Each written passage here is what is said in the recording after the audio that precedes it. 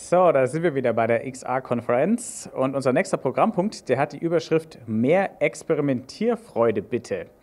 Denn Eva Wolfangel, die gleich unsere virtuelle Bühne übernehmen wird, der reicht es noch nicht, was die Medienhäuser bisher mit VR und AR gemacht haben.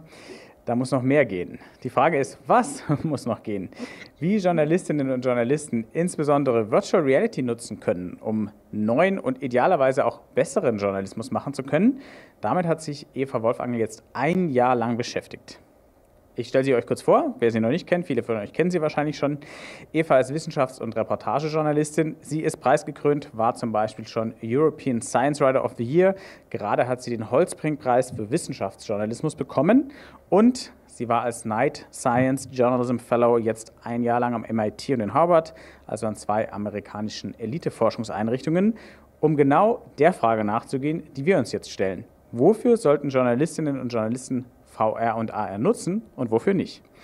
Eva wird uns berichten, was sie herausgefunden hat und welche Konzepte sie selbst entwickelt hat. Und danach diskutieren wir noch gemeinsam darüber mit anderen tollen Kollegen. Aber jetzt erstmal Eva, the stage is yours. Hallo zusammen, schön euch äh, nicht zu sehen, aber ich nehme an, ihr seht mich alles und schreit bestimmt jemand Stopp hier. Ähm, ja, ich freue mich sehr, dass ich hier sprechen darf. Die ähm, Startfolie zeigt auch schon im Prinzip mein Schlüsselerlebnis, was schon vor vier Jahren, 2016 war. Und zwar hat mich im Juni 2016 meine Freundin Sana in VR umarmt. Und ähm, ich konnte richtig spüren, als sie mich so in den Arm genommen hat, wie ihre Hände auf meinem Rücken äh, liegen. Ich konnte ihren Atem an meinem Hals spüren. Und ähm, jetzt sagt ihr wahrscheinlich, okay, die ist äh, völlig rübergeschnappt, das kann ja gar nicht sein. Und das dachte ich auch so ein bisschen, aber ich habe es gespürt. Ähm, und deswegen habe ich bin ich neugierig geworden auf diese Technologie. Ich habe also VR im Prinzip kennengelernt mit Social VR. Ich hatte natürlich vorher schon ein paar ähm, Spiele ausprobiert, ein paar Experiences, wie man so schön neudeutsch sagt. Ich bin mal auf den Mars geflogen mit einem Raumschiff und habe da einiges erkundet.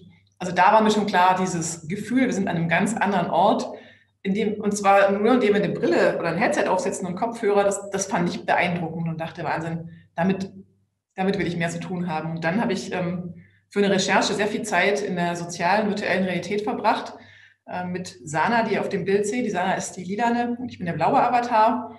Ähm, und in dieser Recherche habe ich gemerkt, dass ähm, viele Menschen oder einige Menschen, wie eben Sana zum Beispiel, schon in der virtuellen Realität leben, mehr oder weniger. Also ich hatte diese Recherche angefangen und die meiste Zeit ähm, bin ich mit so einem VR-Headset auf dem Kopf äh, oder nee, also genau, ich hatte ein VR-Headset. Jetzt müsste jemand meine Folie weiterschalten. Seht ihr die nächste Folie? Ja, Dankeschön. Ähm, also so sah ich von außen aus, aber von innen sah ich eben, ähm, habe ich Sana gesehen, die mich umarmt und habe diese ganze Technik auf meinem Kopf und meinen Ohren und das ganze Drumherum nicht mehr gespürt, sondern eigentlich wirklich nur ihre Arme, ihren Atem und die Nähe, die sie hatte. Ich habe mit Sana wirklich sehr, sehr viel Zeit dann verbracht im Rahmen der Recherche, habe erfahren, dass sie eine äh, strenggläubige Muslimin ist, die äh, zudem verwitwet ist und in Kuwait City lebt und ein recht einsames Leben hat, außer sie ist in Social VR, da hat sie sehr viele Freunde. Und in dieser Recherche ist mir ganz viel klar geworden oder immer klarer geworden, warum wir Journalisten uns VR genauer anschauen sollten. Also warum die virtuelle Realität vielversprechend ist für den Journalismus. Die Sana hat zum Beispiel äh, sich einen eigenen Raum aufgebaut in VR, in dem äh, sie ein klein, kleines Kaminfeuer hatte. Und in diesem Raum habe ich unglaublich viele Gespräche geführt mit ihr und auch mit ganz vielen anderen Leuten. Also auf dem Foto sieht man wieder Sana in lila, mich in blau. Und Evil Door, so heißt der rote Mann, also der schlechtes Tor, der aber eigentlich ein ganz arg guter ähm, Mann war, der, der sich wahnsinnig viel Gedanken über die Welt gemacht hat. Ähm, in diesem Raum habe ich wahnsinnig viele Gespräche geführt über Themen, mit denen ich mich bislang kaum beschäftigt hatte. Ähm, ich konnte die Sana zum Beispiel unglaublich viel über ihre Religion befragen, mit ihr philosophieren, über Glaube und Gott und Erziehung, ähm, ihr Leben in Kuwait City, die Rolle der Frau in ihrer Religion, also Dinge, die ich, über die ich zwar schon lange eine Meinung hatte, aber mit, über die ich noch selten mit Betroffenen gesprochen habe. Und das ist ja ganz oft das Problem, wenn es um Filterblasen geht, ähm, dass wir eine Meinung, uns ein Urteil bilden über andere, aber dass wir eigentlich mit diesen anderen überhaupt nicht ins Gespräch kommen. Und so hatte ich ähm, den Eindruck, dass das VR das ermöglicht, also dass wir mit Menschen zusammenkommen, die wir sonst nicht treffen würden. So ging es zumindest mir. Und dass da eine auffällig große Offenheit herrscht, über andere was zu erfahren, mit anderen zu reden und sie nicht zu verurteilen. Also hier auf dem Bild sieht man eins, ein großes Treffen mit verschiedenen seltsamen Avataren, die Allspace damals hatte. Heute sehen die anders aus. Äh, aus meiner Sicht äh, auch nicht besser, aber das ist ja Geschmackssache. Ähm, also ich habe ich hab gemerkt, dass ähm, die virtuelle Realität Menschen zusammenführt das zum Beispiel ist eine Hochzeitstorte. Ähm, ich war nämlich auf einer Verlobungsfeier eingeladen von Ben und Shu, also von zwei Freunden aus der sozialen virtuellen Realität, die sich dort verliebt haben und dann auch verlobt haben. Und äh, auch die hätten sich im echten Leben nie getroffen. Ähm, ich habe Menschen getroffen wie Crystal aus ähm, Las Vegas, sie ist eine Arzthelferin, äh, die auf dem Bild hier zusammen mit mir ist und zwei anderen Freunden. Die hat Social Anxiety, also kann im echten Leben keine Menschen keinen Menschen gegenüberstehen, also kann im echten Leben keine Menschen treffen, weil sie Schweißausbrüche bekommt und Panikattacken bekommt. Und in Social VR hat sie wahnsinnig große Partys gefeiert, wie hier auf, auf, also auf dem Bild ist ein Campingplatz, den sie gebaut hat. Man kann ganz links an der Ecke erkennen, da ist ein äh, Lagerfeuerplatz, äh, wo man dann abends, wenn man müde war von der Party, am Lagerfeuer sich treffen konnte. Also auch für sie hat VR ganz neue Möglichkeiten äh, geschaffen, sich mit, äh, mit anderen Menschen zu treffen, was sie vorher überhaupt nicht konnte in ihrem Leben. Und was ich auch einen enorm wichtigen Punkt finde für uns Journalisten, VR ist aus meiner Sicht, also zumindest Social VR, ist unmittelbar und echt. Und das klingt jetzt vielleicht nicht so in, intuitiv aufs erste Hinhören. Warum soll die echt sein, wenn sie eigentlich unecht ist? Aber ich habe in der Recherche gemerkt, dass es einfach eine eigene Form von Realität ist. Also genauso real wie unsere hiesige Realität, nur aus anderem, aus anderem Material, nämlich immateriell. Ich habe ähm, angefangen, irgendwann zwischen materieller und virtueller Realität zu unterscheiden, aber nicht zwischen ist echt, ist unecht. Ähm, das Foto ist die Sana im echten Leben, das, deswegen habe ich das Foto ausgewählt. Ich habe sie also dann eines Tages besucht, auch im Rahmen von anderen Recherche in Kuwait City und habe auch meine anderen Protagonisten besucht in USA und Israel aus dieser Recherche und habe äh, gesehen, dass die Menschen wirklich so sind, wie ich sie kennengelernt habe. Also die Hypothese von der Recherche war, ähm, ich, ich kenne die Leute. Es ist eben nicht so, dass man sich was vormacht in VR, dass Leute einem was vormachen, sondern ich habe die Leute wirklich kennengelernt und ich weiß, wie die sind. Ähm, anders als jetzt, wenn es zum Beispiel um Social Media oder vielleicht auch um Chats geht, ähm, in denen man sich viel mehr als jemand anders ausgeben kann. Aber da in VR die Stimme übertragen wird und die Kopfbewegungen und, und die Gestik, ähm, kriegt man sehr viel mit von einem Menschen und das macht es unmittelbar und echt. Ähm, und all das fand ich sind super gute Neuigkeiten für den Journalismus, weil genau das brauchen wir eigentlich jetzt. Also wir müssen gucken, dass wir Leute aus Filterblasen rauskriegen. Wir wollen ähm, das unmittelbare Echte, wir wollen die Wahrheit, so platt das jetzt auch klingt, aber ähm, uns geht um, um was, was wirklich da ist, um Fakten. Ähm, und all das äh, fand ich, ist mir klar geworden in diesen Begegnungen in Social VR, kann man dort total gut transportieren und antreffen. Also habe ich angefangen zu recherchieren, was gibt es denn in der virtuellen Realität an Journalismus und habe auch selber was gemacht. Ähm, was ich gefunden habe, ich habe jetzt meine, eigenes, äh, meine eigenen Versuche um niemand anders, niemand anders zu beleidigen. Was ich gefunden habe, sind Talkshows in Social VR. Da vorne ist mein, mein Avatar. Ähm, und die Talkshows funktionieren so, Leute sitzen vorne und diskutieren und andere sitzen im, sitzen im Publikum und schauen zu. Ähm, und solche Sachen habe ich öfter gefunden in, in VR. Äh, insgesamt habe ich wenig Journalismus gefunden, aber solche Sachen habe ich in Social VR gefunden, jenseits von passiven Experiences, die, die es natürlich auch gibt. Also ich war ja ein Jahr in den USA, ähm, MIT, und dort haben sie natürlich viele solche Sachen wie Erdbeben, Katrina, so Hurricane-Sachen ähm, gemacht, wo Leute das Gefühl bekommen sollten, wirklich vor Ort zu sein. Und das ist sicher auch beeindruckend und immersiv. Aber das waren eben immer passive Erlebnisse, wo man letztlich als, als Zuschauer oder als, als Audience irgendwo eintaucht, aber eigentlich nicht wirklich da ist. Man kann nicht wirklich was machen, es ist nicht interaktiv.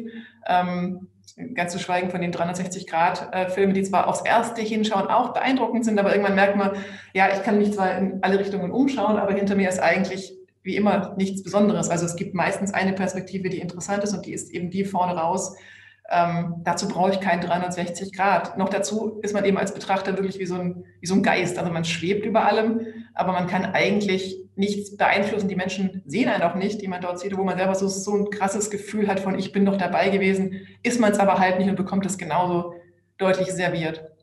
Und ähm, einen ähnlichen Denkfehler habe ich ganz am Anfang gemacht mit dieser Talkshow ähm, und haben ganz viele andere Leute auch gemacht. Also diese Idee, wir nehmen, was wir schon kennen und setzen einfach noch eine Technologie drauf, nämlich virtuelle Realität.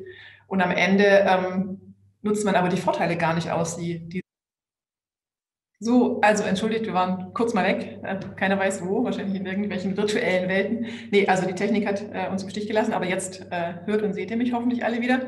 Ähm, ich war gerade dabei zu erklären, dass es aus meiner Sicht auch in Augmented Reality noch relativ wenig wirklich gute Projekte gibt im Journalismus. Ich habe es zum Beispiel bei der New York Times mir angeschaut, weil ich da viele Kontakte hatte im Rahmen von meinem Fellowship. Und man kann hier sehen, das sind, das sind quasi drei Bildschirme auf dem Smartphone, die man durchscrollen muss, bevor man zu dem letzten Punkt Immersive AR, VR kommt in, in der New York Times App. Und da drin versteckt sind schon einige sehr aufwendige Projekte, die aber am Ende mir noch die Frage, wo sie mir die Frage gestellt hat, ist das was, was wir wirklich brauchen? Also zum Beispiel, hier geht es um ähm, eine Höhlenexpedition, Menschen, die in einer Höhle eingeschlossen waren. Und in diesem Artikel wird quasi die gesamte Höhle, kann man ähm, verfolgen, wo die entlang gegangen sind. Und dann kann man sich das Loch, das kleine Loch, durch, die, durch das die dann schließlich äh, krabbeln mussten, ins eigene Büro holen. Das habe ich hier gemacht im Coworking Space. Und das Loch hat dann quasi die Größe, die es im echten Leben in dieser Höhle für die Menschen dort hatte. Ein anderes ähm, Erlebnis, was sie machen in, in, ihrer Augmented Reality, in ihrer Immersive Section, ist äh, das Moon Landing. Also da kann man mit äh, Armstrong und Buzz Aldrin ähm, auf den Mond fliegen und sie haben rekonstruiert, diesen, diese Landung rekonstruiert und man kann sich dann quasi die Geräte auf den eigenen Bürotisch holen oder auf den, ins eigene Wohnzimmer und von allen Seiten betrachten. Aber auch da das Gefühl, das ist vielleicht eine schöne Spielerei, aber eigentlich ähm, ist es was, was wir wirklich brauchen. Also reicht es nicht, wenn man ein 3D-Modell am Bildschirm hat oder reicht nicht vielleicht auch einfach ein Foto von so einer Raumfähre? Ähm, diese Details sind, glaube ich, nicht so relevant für eine Geschichte. Dann habe ich ein bisschen geschaut, weil ich auch Wissenschaftsjournalistin bin, wie machen es denn die Erziehungswissenschaften, ähm, wenn es um Bildung in VR geht und habe in Altspace ähm, die Educators in VR gefunden, die äh, ein Klassenzimmer nachgebaut haben. Und das, ähm, da war ich auch ziemlich enttäuscht, weil ich fand, das ist ja so ein Klassenzimmer, wie es im schlimmsten Fall in der Realität aussieht. Also die Tische stehen eng, dicht an dicht in einer Reihe und alle Kinder müssen brav auf dem Stuhl sitzen und vorne steht der Lehrer und erzählt was. Und dabei wissen wir ja alle, dass Frontalunterricht eigentlich wirklich aus dem letzten Jahrhundert ist und pädagogisch überhaupt nicht wertvoll. Und gerade VR bietet ja viel bessere Möglichkeiten als Frontalunterricht. Also Frontalunterricht sollten wir auf gar keinen Fall in VR machen. Das kann man als Video machen und sich angucken. Aber in VR sollten wir ähm, interaktive Sachen machen, andere Formate.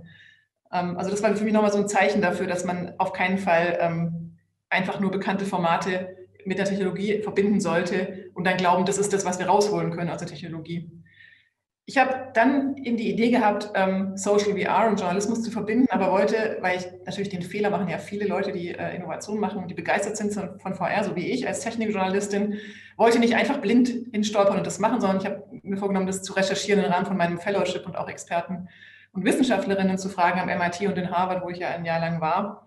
Ähm, so habe ich zum Beispiel den Chris Dede äh, interviewt, der an der Harvard Graduate School of Education sich ganz viel mit VR beschäftigt und eben zu Recht die Frage stellt, wenn VR die Antwort ist, was ist denn dann bitte die Frage? Also wir müssen erst rauskriegen, was, welches Problem wollen wir eigentlich lösen. Was die zum Beispiel gemacht haben, und das kam mir meinen Ideen sehr entgegen, die haben eine Schulklasse in China und eine Schulklasse in den USA in, über VR zusammen in einen Raum gebracht und haben dann mit denen ähm, antike Ruinen angeschaut. Sie sind gemeinsam mit denen an einen Ort gereist, den man ähm, im echten Leben schwerlich oder gar nicht besuchen kann ähm, noch dazu können sich Chinesen und chinesische und US-amerikanische Schülerinnen nur schwer treffen und haben die zusammengeführt und dann gemeinsam was entdeckt und gelernt. Ich habe auch ein ganz spannendes, ähm, obwohl ich 360-Grad-Videos gerade noch eher, eher, kritisch erwähnt habe, ähm, eine spannende App entdeckt, die auch von der Harvard Graduate School of Education ist, wo es um Französisch lernen geht. Die haben quasi eine 360-Grad-Experience ähm, für Französisch-Studenten gemacht da können die ähm, die Protagonisten aus ihrem Lehrbuch in Paris besuchen und mit denen ins Café sitzen und ähm, haben so eben das Gefühl, sitzen am Tisch und können, können mit denen reden. Ich mache es ein bisschen schneller, weil der, ähm, die Technik uns gerade etwas geklaut hat an Zeit. Ich habe verschiedene Projekte gesehen, wo eben antike Ruinen nachgebaut worden sind in VR die man dann besuchen konnte. Und ich habe gemerkt, es wird eigentlich immer dann spannend, wenn man äh, diese Ruinen auch begehen kann. Also wenn man nicht nur die als passives Experiment, äh, Experience anschauen, anschauen kann, sondern man reingehen kann, sich dort mit anderen Menschen treffen. Im Idealfall vielleicht sogar mit Expertinnen und Experten, die einem dann erklären, wie haben denn Menschen damals gelebt, was ist die Bedeutung von dieser Ruine und so weiter. Ähm, ich habe mir auch viele kollaborative Experimente angeschaut am MIT und in Harvard Ähm, zum Beispiel dieses, das ähm, war eine, eine, Mischung aus ähm, einem Tablet-Computer und einer, einem VR, ähm, ein VR-Spiel letztlich, wo Schülerinnen und Schüler Zusammenhänge im Körper entdecken sollten. Und zwar hat einer hat dieses Tablet in der Hand und ist der Arzt oder die Ärztin und der andere geht, also reist durch den Körper und versucht Spuren zu finden und die gemeinsam versuchen sie wie so Detektive rauszukriegen, was hat denn dieser Mensch für eine Krankheit und haben verschiedene Informationen auf ihrem Tablet und in ihrem, in der VR. Also auch das fand ich eine spannende und schön interaktive Sache. Die hatte ihre Schwächen noch, weil sehr viel Text teilweise zu lesen war in der, im Headset, was, was, was zäh ist. Ähm, aber fand ich, geht in die richtige Richtung. Aber natürlich muss man immer auch die User fragen, also wollen, auch wenn wir das noch so toll finden, wollen die wirklich VR als Lösung? Und da gab es eine Studie von dem David Green, den ich auch am Media Lab getroffen habe. Und der ist für euch jetzt auch sehr viel Text, deswegen seid euch das Wichtigste. Der hat ähm, viele User interviewt und denen quasi VR-Headsets mit nach Hause gegeben und wollte gucken, ist es denn überhaupt ein Use Case, dass man zu Hause in seinem eigenen Wohnzimmer eine VR-Brille benutzt? Und die haben im Prinzip ihm zurückgemeldet, es ist eigentlich super interessant, wissenschaftliche Inhalte und Journalismus über VR zu, zu, ähm, zu, mitzubekommen. Aber es ist immer so ein bisschen ein einsames Erlebnis. Also ich in meinem Wohnzimmer setze mein Headset auf und dann bin ich ähm, getrennt von allen anderen. Also ich fühle mich isoliert, ich fühle mich allein. Was ja auch wieder was ist, was für soziale virtuelle Realität spricht. Also dass wir nicht allein isoliert zu Hause sitzen wollen wie vor einem Fernseher, sondern dass wir mit dem Headset auf in Kontakt gehen wollen und Menschen, Menschen treffen. Ein weiteres großes Potenzial habe ich dann im April kennengelernt, als ganz USA im Lockdown saß. Und ich war auch ein bisschen traurig, weil ich wollte eigentlich auf eine Konferenz, auf die große VR-Konferenz, und die wäre diesmal in Atlanta gewesen. Also, und, und ich wäre jetzt richtig nah dran gewesen, aber dann wurde ja natürlich alles abgesagt. Und ähm, diese Konferenz, obwohl es die größte VR-Konferenz hat noch nie in VR stattgefunden, aber dann zum ersten Mal. Und die haben Mozilla Hubs benutzt und das ist ein, ein Bild, ähm, wo mir die Veranstalter gezeigt haben, was sie in Hubs alles können. Also da ähm, waren wir in der Akropolis und haben historische Städten besucht und schließlich war die Konferenz. Ähm, und da hat mich sehr beeindruckt, dass ich, ich hatte bis dahin wirklich viele Zoom-Konferenzen schon besucht und mich hat sehr beeindruckt, dass man ähm, dieses Konferenzgefühl wieder hat, dass man mit Leuten gemeinsam, zum Beispiel in dem Fall, da sieht diese kleinen Männchen und, und, und äh, kleinen Figuren, sieht man da stehen, dass man quasi mit Menschen zusammen einen Vortrag anhört und mal mit seinem Nachbar, mit seinem Nebenmann, seiner Nebenfrau mal kurz ein bisschen flüstern kann über den Vortrag und sich ein bisschen austauschen kann. Oder noch besser, ähm, es gab ähm, äh, Poster-Sessions in VR, und da hatte ich das erste Mal seit, weiß nicht, sechs, acht Wochen, lange Lockdown dann schon war, das Gefühl, wow, ich kann wieder mit den Leuten zufällig in Kontakt kommen. Ich höre irgendwie, jemand steht hier und diskutiert über ein Poster. Ähm, ich höre ein Stichwort, was mich interessiert. Ich kann da einfach hingehen und mitreden. Und so haben sich da ganz viele auf der Konferenz, ganz viele zufällige Begegnungen ergeben und viele Inspirationen. Das, das fehlt mir enorm auf diesen Zoom-Konferenzen und Webinaren, die wir halt bis dahin sehr viel hatten ja, das alles hat mich also ermutigt und ich glaube, es gibt einen Bedarf für Social VR im Journalismus. Und so habe ich mein Fellowship auch genutzt, um an der Lösung zu arbeiten. Meine Idee war, wir haben zwei Vorteile. Das eine ist, es bringt Menschen zusammen und, und öffnet Filterblasen. Das andere ist, in VR können wir Dinge machen, die wir überhaupt nicht im echten Leben machen können. Wir können Dinge visualisieren, die im echten Leben gar nicht, die gar nicht sichtbar sind. Zum Beispiel hier Entanglement, also Quantenverschränkung ist so, Quantenphysik ist ein Thema, wo ich schon öfter drüber geschrieben habe und jedes Mal fand, boah, es ist kompliziert und das ist echt kaum zu, kaum zu erklären, kaum selber vorzustellen. Und so dachte ich, das wäre eigentlich ein guter Use Case, ähm, das mal auszuprobieren als Event in Social VR. Also ich als Journalistin lade einen Experten ein und wir können gemeinsam mit dem Audience Quantenphysik zusammen erkunden. Und so ist eine Kollaboration entstanden mit Tim Menke, der heißt, heißt hier Toptimal mit dem zusammen und dem Harvard Viz Lab. Das ist ein Foto aus dem dortigen Labor, was mich, ähm, und das ist nur ein kleiner Ausschnitt, also das ganze Labor ist voller verschiedener Headsets und Datenbrillen. Ähm, und da sind äh, jede Menge Leute, die richtig Lust drauf haben, sowas auszuprobieren. Wir haben also einen Social VR Meetingraum gebaut zusammen, in dem wir ähm, Quantenphysik erklären können. Also wir haben verschiedene, zusammen mit dem WizLab, verschiedene Dinge gebaut in VR. Zum Beispiel seht ihr da hinten ein großes ähm, großes Quantum, was natürlich in Wirklichkeit im echten Leben nicht sichtbar wäre. Wir hatten auch ähm, Schrödingers Box, also eine Box, in der ein Atom drin ist, was äh, Superposition hat, also wo die beiden Elektronen an zwei, wo ein Elektron an, an, mehreren verschiedenen Stellen gleichzeitig ist, solange die Box geschlossen ist. Also bei Schrödinger war das, ob ihr, falls ihr euch erinnert, ist das diese Katze. Ist die Katze lebendig oder tot? Man weiß es nicht. Man weiß erst, wenn man die Kiste öffnet. Aber wenn man sie öffnet, dann ist sie lebendig oder tot. Und vorher weiß man es einfach nicht. Und so ist es. So eine Kiste haben wir so nachgebaut in VR. Ähm, das Elektron weiß nicht, an welcher Stelle es ist. Das ist eben eingesetzt der Quantenphysik, Superposition. Und erst wenn man die Kiste öffnet, entscheidet es sich. Und wir in VR können durch die geschlossene Kiste gucken, was natürlich sonst im echten Leben keiner kann. Und was auch dem Tim Menke, der ähm, Quantenphysiker am MIT und in Harvard ist, ziemlich Spaß gemacht hat, weil er sagt, in seinem Labor natürlich funktioniert das nie. Wir hatten letzten Donnerstag die erste, das erste öffentliche Event und wir werden davon auch noch mehr machen, wo wir das ausprobiert haben. Also Tim als Experte da, ich als Journalistin habe ihn interviewt wir haben eben die Entschuldigungsbox geöffnet und das Publikum, und das fand ich ganz wichtig, daran konnte bei alle mitmachen. Also jeder konnte auf diesen Knopf an der Kiste drücken und die damit öffnen. Jeder konnte mal Quanten verschränken, indem man die Kisten, zwei Kisten zusammengehauen hat. Und jeder konnte mit mir zusammen einmal auf die, von der Erde auf den Mars beamen, zusammen mit einem verschränkten Quantenteilchen und zurück auf die Erde, um zu sehen, ob die Verschränkung wirklich anhält. Also ob diese Information tatsächlich über solche Distanzen ähm, reisen kann und ob es Informationen genannt werden darf, ist tatsächlich eine Frage. Also ob die Quantenteilchen wissen können, auch über diese riesigen Distanzen, das, was Physiker nämlich wissen, ähm, in welchem Zustand sie gerade sind. Und das haben wir alles in VR ausprobiert. Ähm, und wir hatten sehr viel Spaß und auch das Publikum hatte sehr viel Spaß dabei, das, das alles mit zu, zu erkunden. Und viele haben danach gesagt, sie hatten das Gefühl, sie haben jetzt mehr gelernt über Quantenphysik als in all den theoretischen Vorträgen, die sie bis dahin gehört hatten.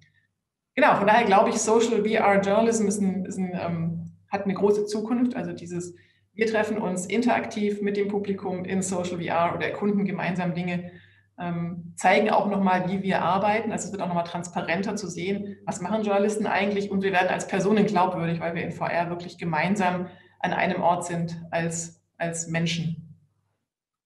Genau, und jetzt äh, habe ich versucht, die Zeit wieder reinzuholen. Ich hoffe, ich habe nicht zu schnell gesprochen. Ähm, Jetzt können wir. Nein, hast du nicht. Das war wunderbar. Vielen Dank, Eva. Sehr schön. Und ich bin auch gerade, ich mache auch gleich den Kronzeugen. Ich war nämlich dabei bei letzten Donnerstag bei der Social VR äh, Quantentour und es hat wirklich sehr viel Spaß gemacht. Und Tim war da kein Roboter, sondern ein, ein Waschbär, glaube ich. Und hieß ja. Quantim und das fand ich tatsächlich sehr nett von ihm, äh, Quantenphysik erklärt zu kriegen. Ähm, das nur am Rande. Vielen Dank, Eva, für diesen Einblick äh, darin, was in XR gut im Journalismus funktioniert aus deiner Sicht oder funktionieren könnte, gerade im, wenn man Social VR Interaktion reinbringt was vielleicht noch ein bisschen zu passiv ist ähm, bei den Experiences, die bisher da sind.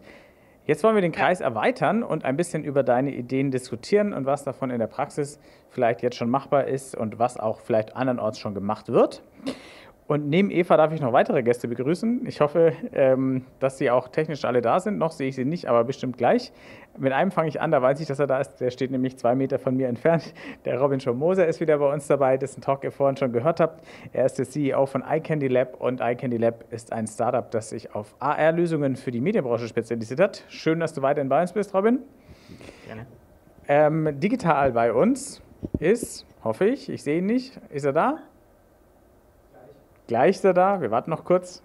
Habe ich so schnell gesprochen, dass wir uns überholt haben und noch Nee, nee, alles gut, Eva. Alles gut. Du hast, du hast nicht so schnell gesprochen und du hast die technische Panne sehr gut aufgefangen. Äh, sorry nochmal an alle. Aber das war höhere Gewalt. Ich, ich, ich stand daneben. Es passierte einfach. Sehr gut gelöst. Hoffentlich. Müssen noch Gesprächspartner auftauchen. Ja, Du, sonst stelle ich dir auch noch Fragen dazu. Keine Sorge. Und Robin hat bestimmt auch noch Anmerkungen dazu. Aber wir, wir geben. So, sind alle da? Ah, sehr gut. Ich sehe, da sehe ich den Matthias. Dann mache ich mit Matthias weiter. Matthias Leitner ist auch bei uns. Matthias ist äh, digitaler Storyteller, Scrum Master und UX-Designer. Auch er hat schon Preise gewonnen. Und er hat gerade für den Bayerischen Rundfunk, sein Arbeitgeber, ein wirklich spannendes VR-Projekt umgesetzt. Hallo Matthias. Hallo. So, und jetzt fanden wir noch nach Malte. Ist Malte schon mit uns? Malte ist noch nicht da? Ah, da ist Malte. Sehr gut. Ja, jetzt haben wir alle beisammen. Außerdem ist uns noch zugeschaltet Malte Baumberger. Er leitet das Webvideoteam der Mediengruppe RTL. Das heißt, er hat sehr viel mit neuen Formaten für die redaktionelle aktuelle Berichterstattung zu tun. Und er kann uns nachher noch erzählen, was es denn mit der Augmented Reality App auf sich hat, die RTL gerade testet. Jetzt wollen wir aber zuerst über die äh, Vorschläge von Eva sprechen. Ähm, Eva, kurz ohne dich, du darfst später auch wieder mitreden, aber die erste Runde, da lassen wir dich mal aus. Ähm, Matthias, Malte, Robin, Eva schlägt vor, beim Einsatz von XR ähm, mehr Interaktivität zu ermöglichen als bisher, also weniger auf passive Experiences zu setzen und vor allem auch Social VR zu nutzen. Das heißt, Menschen zusammenzubringen, ähm, Journalistinnen und Journalisten und Menschen zusammenzubringen, um Dinge gemeinsam zu ergründen, zum Beispiel Quantenphysik, wie wir gerade gehört haben. Was haltet ihr davon? Lässt sich sowas umsetzen? Interaktivere XR-Formate und auch zum Beispiel sowas wie Social VR, Events in Social VR.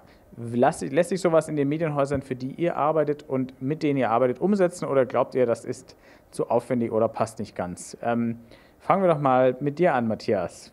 Wäre das was für den öffentlich-rechtlichen Rundfunk? Du darfst kurz deinen Eindruck schildern, aber du kannst auch allgemeiner sprechen, wenn du deinen Arbeitgeber nicht beschädigen willst. Ich, äh, ich, ich, stimme, ich stimme doch vollumfänglich zu und äh, wir können das auch aus eigenen Nutzertests äh, rausnehmen. Also ähm, ähnlich wie der Kollege, ähm, den du Eva gerade in den USA, nee, Großbritannien erwähnt hast, ähm, der eine nutzerzentrierte Umfragen gemacht hat, haben wir in unserem Test herausgefunden, ähm, auch wenn ähm, passive Experiences, die vor drei, vier Jahren wirklich vogue waren, 360-Videos, ähm, oft gut funktionieren, wenn Interaktion dazu kommt und sei sie noch so minimal, ähm, ist man sofort mehr involviert und es bleiben auch ähm, Inhalte besser hängen. Äh, ähm, man hat dann wirklich dieses höhere Immersionsgefühl. Und ähm, noch schöner ist es natürlich, äh, wenn es mit anderen Leuten ko-kreativ stattfindet. Und was ich da interessant finde jetzt für den ähm, Rahmen XR ist auch, ähm, sogar wenn es auf äh, unterschiedlichen technischen Ebenen stattfindet, der eine in VR ist, der andere nur mit Audio zugeschalten ähm, oder einer in VR ist, der andere analog neben ihm steht, aber beide in demselben Kosmos unterwegs sind und was miteinander machen müssen, ähm, dann funktioniert das schon sehr gut. Also der Social-Aspekt ist dann für mich nicht nur ein skalierter VR-Aspekt, sondern auch ähm, kann auch in anderen Mischformen stattfinden, wie das ja oft bei den Location-Based Anwendungen der Fall ist. Malte, was sagst du? Äh, die Mediengruppe, für die du arbeitest, die hat ja immer mal wieder interaktive Elemente auch im klassischen Programm mit drin. Glaubst du, dass auch XR, interaktiv, Social VR da einsetzbar wäre oder dass es eine spannende Option wäre? Also ich glaube schon, dass das einsetzbar ist. Es ist auf jeden Fall eine sehr, sehr spannende Option. Ähm, wir stehen natürlich als Privatsender immer auch erstmal unter einem Refinanzierbarkeits- äh, oder wir gucken da, wie sich das refinanzieren lässt. Da sind wir ein bisschen anders als die öffentlich-rechtlichen. Aber wenn man ähm, ein innovatives Medienhaus sein muss, muss man sich natürlich schrittweise an solche Formate heranwagen und vor allem einfach ausprobieren.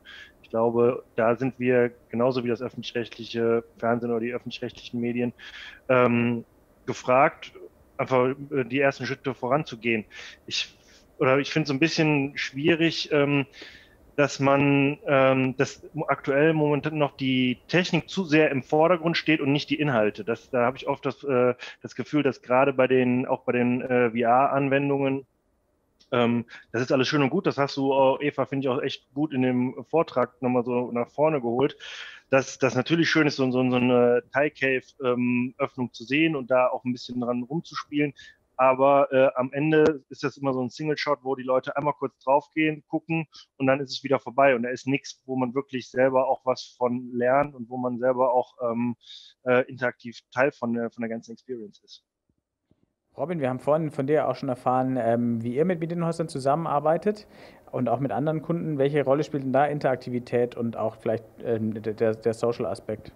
Wird das gefragt? Wird das gewünscht? Ja, äh, absolut. Äh, wir sehen es natürlich jetzt vor allem durch die ganze Krise, wo eben die Leute nicht mehr sich mit den äh, Leuten, die sich eigentlich treffen, äh, zusammentun können, um eben ein Fußballspiel anzuschauen oder um andere sehr gesellschaftlich geprägte ähm, ja, Events einfach zu, zu konsumieren oder zu, zu begleiten.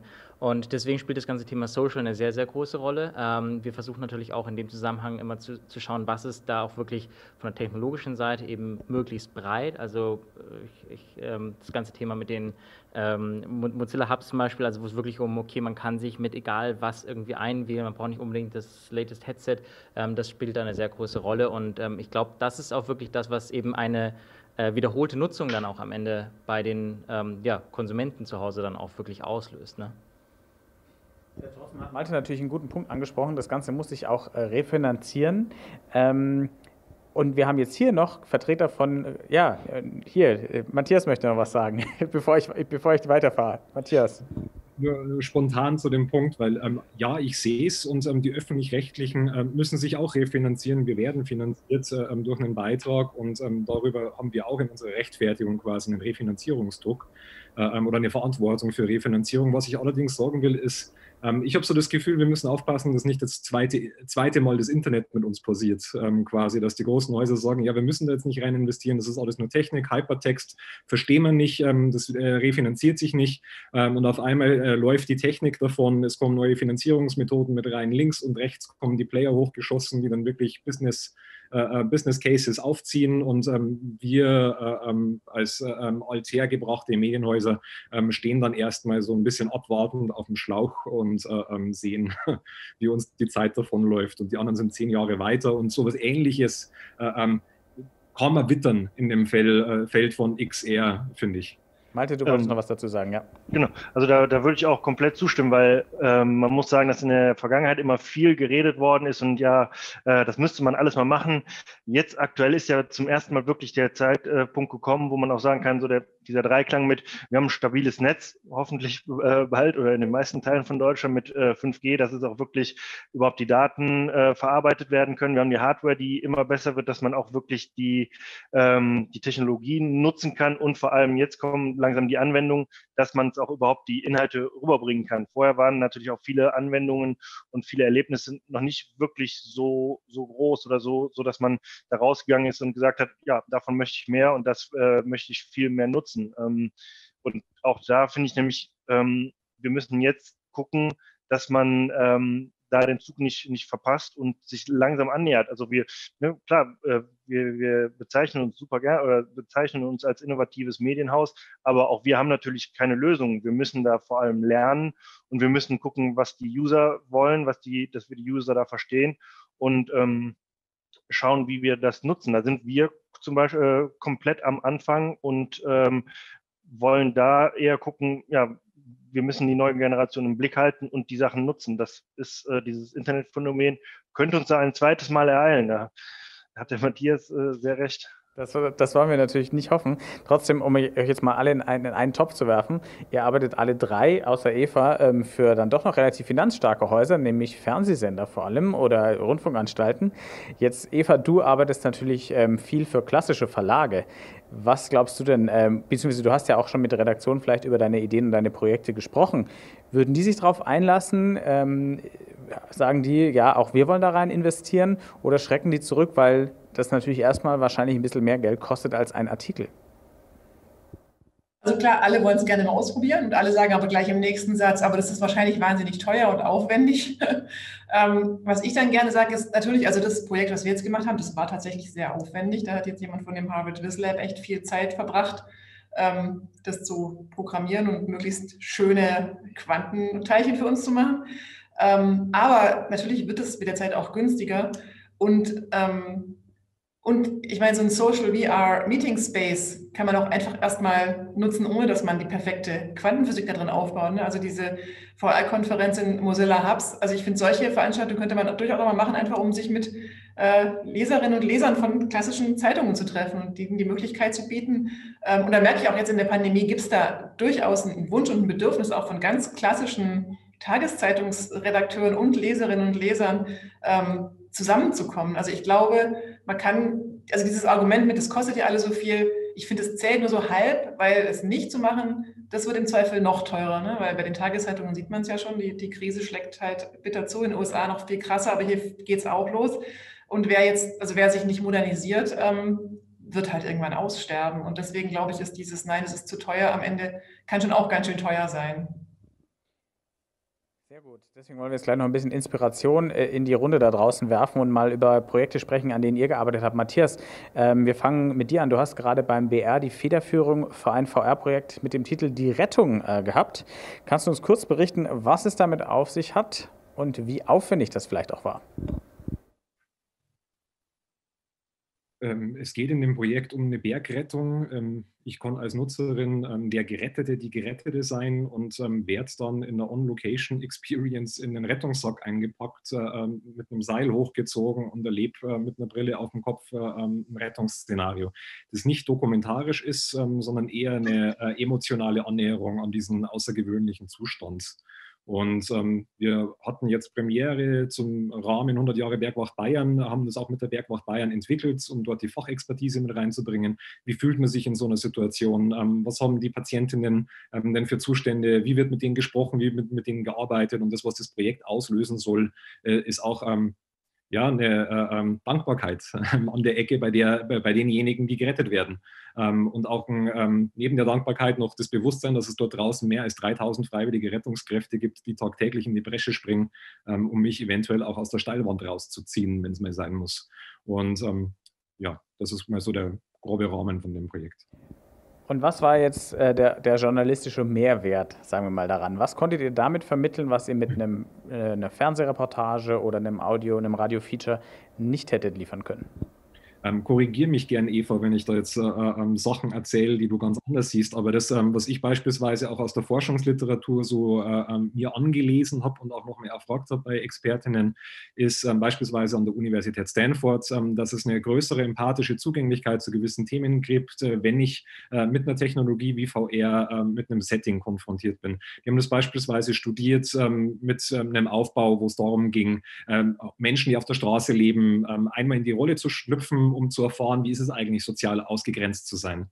Und das, was danach ähm, auch feststellbar ist, ist eine höhere Zugänglichkeit zu anderen Wissensformen ähm, in der Vermittlung. Und ähm, das, was wir jetzt auch am Setting hatten, ist außenrum um unsere Experience war ja die Ausstellung auch gebaut zu 100 Jahre Bergwacht Bayern, wo dann auch äh, ähm, dargestellt wurde nochmal, wie funktioniert jetzt eine wirkliche Helikopterrettung? Wie ist denn eigentlich die Geschichte der Bergwacht, äh, wo die bayerischen Bergretter tatsächlich eine große Rolle gespielt haben, auch in der Entwicklung von Technik, ähm, die bis heute eingesetzt wird. Und ähm, unsere These war, wir kriegen die Leute über unser Projekt in einen emotionalen Zustand, wo sie dann auch die anderen Wissensangebote, die außenrum flankierend neben unserem Stand sind, ähm, viel, viel intensiver wahrnehmen und dann auch ähm, mehr nachfragen, ähm, Wissen besser speichern können. Und ähm, ich glaube mal, das ist jetzt so einer der großen Nutzen, die ähm, auch die Technik haben kann. Ich glaube, für sich alleine genommen ähm, ähm, gibt es erstmal einen verschwindenden Effekt. Das hat auch Stanford festgestellt, dieser, dieser ähm, emotionale Zugang, die höhere Empathie verschleift sich auch wieder nach einem Monat, sechs Wochen, wenn sie nicht medienpädagogisch in, mit anderen Maßnahmen noch nachbegleitet wird, also wenn es keinen Anschlussdialog gibt. Deswegen wäre für mich zum Beispiel so ein Projekt immer der Anfang von einem ähm, journalistischen Vorhaben oder der Anfang auch von einem, von einem ähm, weiteren Dialog und von einem, einem weiteren Gesprächsangebot. Super, vielen Dank. Ich kann bestätigen, es ist sehr emotional. Ich habe es nämlich ausprobiert. Also auch während des Moments ist es einfach schon mal was ganz anderes. Eva, du wolltest dazu noch was anmerken. Genau, ich finde nämlich das mit dieser diese Empathiemaschine, darum ging es ja schon lange. Ne? VR ist die Empathiemaschine, hieß es am Anfang immer. Und damit wurde auch viel geworben, warum wir das Journalist, die Journalisten das verwenden sollten. Und da, glaube ich, muss man auch ein bisschen vorsichtig sein ähm, weil Empathie auch natürlich gefährlich sein kann. Ne? Das ähm, sieht man zum Beispiel, es gab vor ein paar Monaten, vielleicht sogar schon vor einem Jahr, äh, dieses Gerücht auf Facebook, dass ein äh, Mädchen von Flüchtlingen, glaube getötet, vergewaltigt und getötet worden ist. Ähm, und am Ende kam raus, das ganze Gerücht, das war einfach nur ein Gerücht, hat überhaupt nicht gestimmt, aber das hat eine Wahnsinns-Empathiewelle ähm, mit sich gebracht von Leuten, die ausländerfeindlich sind und hat noch mehr Leute, die da vielleicht noch ein bisschen entfernt waren von so einem rechtsradikalen Gedankengut, auf diese rechtsradikale Schiene gebracht. Und deswegen glaube ich, muss man mit Empathie einfach, also mit dem Argument gut aufpassen. Ich finde, es ist noch per se kein Argument, warum wir es benutzen sollten, ähm, weil es natürlich immer auch was von, ja, von Nudging hat, davon Leute mit Emotionen auf eine Seite zu ziehen. Ähm, deswegen glaube ich, muss man das vorsichtig und wohldosiert einsetzen. Und ich habe mal gesagt, wenn wir so auf Empathie setzen, ist es eigentlich mehr ein Kommentar als ein Artikel. Also dieses, ich weiß, dieses Meinung und ähm, Fakten trennen ist was, was ich finde, was man auch in Frage stellen muss, weil ich finde, es gibt immer noch diese Haltung, die dazwischen steht.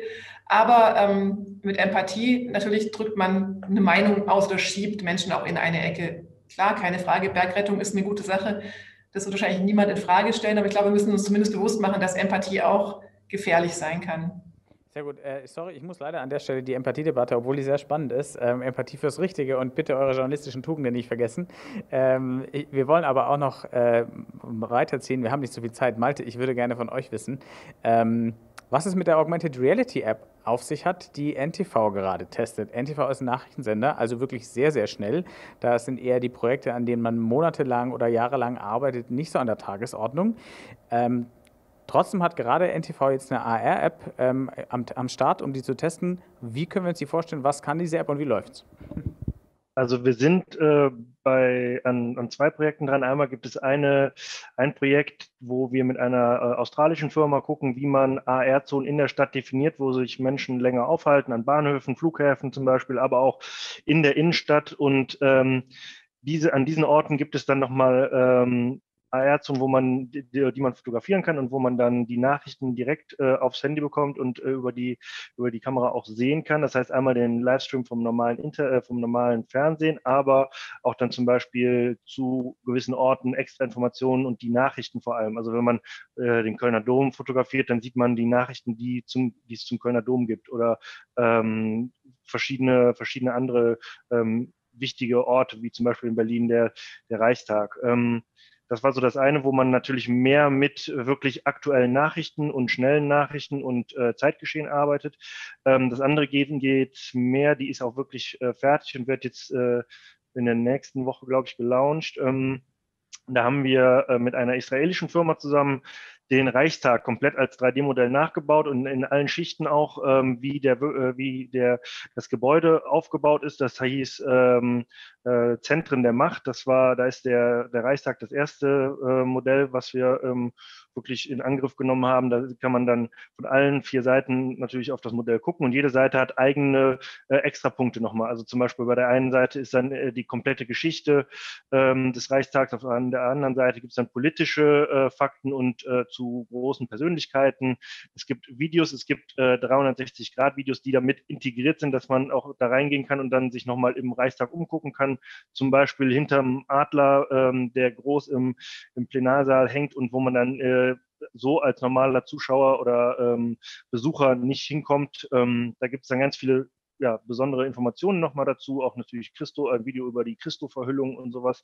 Ähm, dass er wirklich eher so als ähm, Informations- äh, oder Informationsmodell gedacht ist, wo man sich um ähm, diesen Reichstag ja, drehen kann und die Informationen bekommt und sich informieren kann und den Reichstag wirklich selber äh, im eigenen Wohnzimmer erleben kann. Gerade zu dem, ersten, ähm, zu, zu, dem ersten Projekt, das du gesagt hast, ähm, glaubst du, dass Lokalnachrichten irgendwann tatsächlich auch echte Lokalnachrichten in dem Sinne sind, dass sie in Augmented Reality am Ort des Geschehens präsentiert werden und stattfinden? Oder glaubst du, das ähm, oder bleibt es im Moment eher bei so, so, Gimmicks, dass man sozusagen, wenn man am Bahnhof steht, sich den NTV-Screen in, in, ins Handy holen kann? Ähm, also ich glaube schon, dass die natürlich erstmal auf dem, auf dem Handy bleiben, ehrlich gesagt, und dass man sich die äh, so über die NTV-App äh, reinholt. Ähm, nichtsdestotrotz sind lokale Nachrichten oder werden immer wichtiger, wenn man überlegt, äh, es gibt die, die nationalen Nachrichten sind natürlich überall über DPA und sonst was verfügbar und dass man dann an den Orten selber die regionalen Nachrichten noch bekommt, ähm, das ist im Grunde der, der Punkt, wo ja äh, auch die Zeitungshäuser eigentlich hier ein USP haben oder die, die lokale Presse ne? und die, die äh, wir ähm, nicht vergessen dürfen, weil das auch ein große, großer Markt ist und auch eine große Zielgruppe. Wir haben jetzt viel über einzelne Projekte gesprochen und ihr habt ja auch selber gesagt, es wird noch viel experimentiert. Dazu habe ich eine Frage, die eher so das Vorgehen angeht. Wie stellt ihr denn sicher, dass das, was ihr da macht, auch gut ist und bei den Leuten ankommt? Also wie, wie findet man heraus, was funktioniert und was nicht? Reine Zahlen werden es ja wahrscheinlich nicht bringen. Ähm, auch Klickzahlen sagen noch nicht unbedingt, dass was geil ist oder dass es auch beliebt ist. Ähm, also wie geht man da vor, dass man da jetzt wirklich herausfindet, was funktioniert, was funktioniert nicht, was war vielleicht eine nette Idee, die dann doch irgendwie langweilig war und was wollen wir noch ausbauen? Vielleicht kann da jeder, der möchte, kurz was aus der eigenen Erfahrung sagen. Robin, wie stellt ihr denn fest, was hat wirklich funktioniert und was war vielleicht hübsch anzusehen, aber hat den, den Höhleneffekt, den Eva sagt, dass man halt mal sich das zwei Minuten anschaut und denkt, ja, ja nice, aber war es mehr auch nicht. Ja. Ähm, also da sind natürlich äh, klar definierte Metriken extrem hilfreich. Also auch wenn es eine kleine Stichprobengröße ist, ähm, ist es durchaus repräsentativ oder ist aussagekräftig. Wenn wir feststellen, dass ähm, ein Nutzer zum Beispiel ähm, noch, obwohl zum Beispiel, im, und wir sprechen von kontextualisierten AR-Experiences zu Bewegtbild zum Beispiel, ähm, noch über, sagen wir mal, die Werbung, die er in dem Fall mit der er interagiert, noch eine Minute lang äh, AR seitig beschäftigt, dann ist es durchaus was, was einen Wert auch repräsentiert. Der ist jetzt im Moment wahrscheinlich noch nicht so groß, weil einfach auch die Reichweite noch nicht so groß ist. Ich denke, das ähm, können auch äh, die Kollegen von den, von, den, von den Rundfunkanstaltungen bestätigen, dass einfach viele Sachen auch noch sehr, natürlich einfach aufgrund der Marktgröße noch nicht die Zielgruppe erreichen oder die, die, ja, das Potenzial noch nicht komplett entfalten. Ähm, wir müssen nur auch realistisch sein darüber, wo sind wir im, in, dem, in dem ganzen Zeitstrahl. Ja? Also mit Sicherheit werden wir über solche Zahlen nicht mehr in drei, vier Jahren sprechen, wenn es üblich ist oder wenn auch Devices einfach weiter vorgedrungen sind und im Markt erhältlich sind und damit auch solche neue Formen auch einfach überall möglich sind. Also wie jetzt zum Beispiel das ähm, Location-Based-Thema. Ja? Da geht es nicht darum, nehme ich mein Handy raus, um dann am Bahnhof was konsumieren, Vielleicht habe ich dann einfach meine Brille auf und bin am Bahnhof und was passiert dann? Was, wie, wie kann dieses Inventar quasi an der Stelle dann zur Verfügung gestellt werden und genutzt werden? Noch andere ähm, Eindrücke, wie ihr sicherstellt oder wie ihr überprüft, was funktioniert und was nicht. Matthias, vielleicht willst du kurz erklären, wie ihr dabei vorgeht. Ja, wir arbeiten nach äh, nutzerzentrierten Prozessen. Also wir haben angefangen vor eineinhalb, zwei Jahren äh, mit Design Thinking ähm, erstmal das Feld für uns zu bestellen. Ähm, was könnten wir denn eigentlich in dem Bereich machen? Und ähm, so ein Projekt wie die Rettung ist jetzt auch wirklich mit äh, klassischem UX-Design eigentlich gemacht worden, ähm, dass ich mir dann eben auch noch zusätzlich als äh, ähm, Skillset irgendwie mit, mit drauf geschafft habe, um dann auch so einen Prozess adäquat äh, mitsteuern zu können.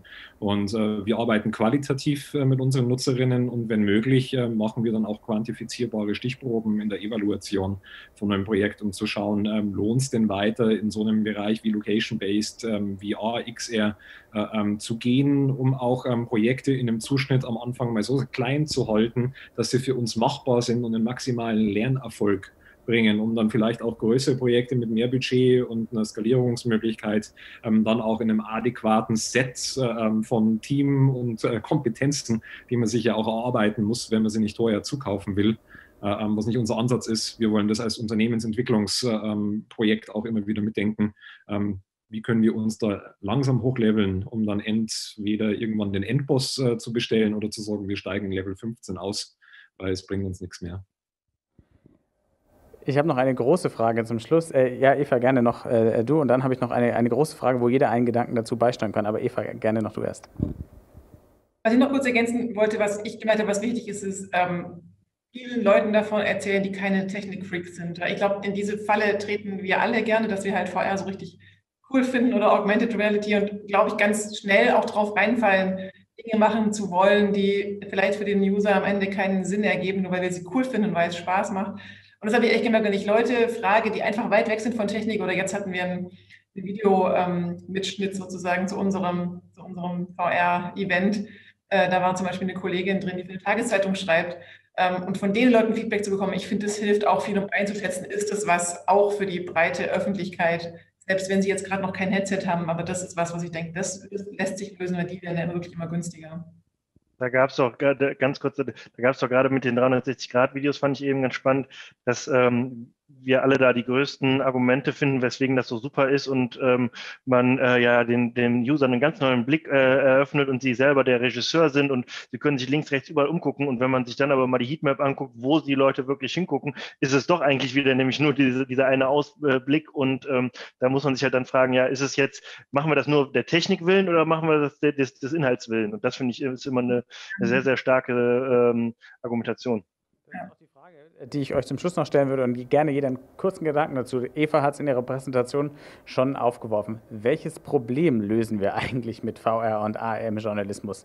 Also was können wir damit machen, was wir bisher nicht machen können oder vielleicht auch welches Problem für die Branche, weil vielleicht radieren ja auch AR-Brillen alle anderen Devices aus, man weiß es nicht. Aber vielleicht für jeden von euch ein Gedanke. Welches Problem können wir mit XR im Journalismus lösen, das wir bisher nicht lösen konnten? Eva, du darfst den Anfang machen. Du hast die Frage ja mehr oder weniger vorhin schon gestellt.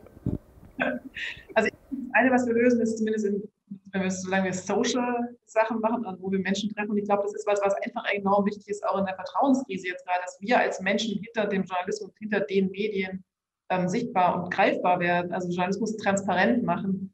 Ich glaube, dafür können wir solche Technologien nutzen, indem wir uns mit, äh, ja, mit unserem Audience treffen, das teilhaben lassen, das Zeuge werden lassen, auch wie wir arbeiten. Das ist für mich gerade einer der wichtigsten Punkte neben dem, dass wir komplexe Zusammenhänge ähm, was wegnehmen. Ja. Matthias, äh, was würdest du sagen? Welches Problem wird gelöst durch XR?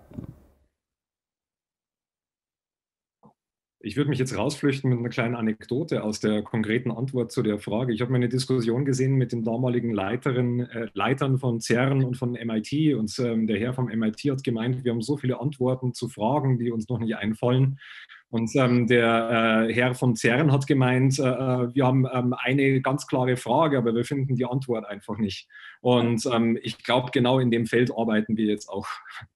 Malte, hast du vielleicht trotzdem eine Frage oder ein Problem? Ich denke auch, dass, also ähm, es kann uns keine Lösung geben. Es gibt einfach nur, ähm, äh, oder es hilft uns, komplexe Zusammenhalte gut und äh, einfach darzustellen und irgendwie neue Möglichkeiten, Inhalte ähm, zu distribuieren und äh, den Leuten näher zu bringen.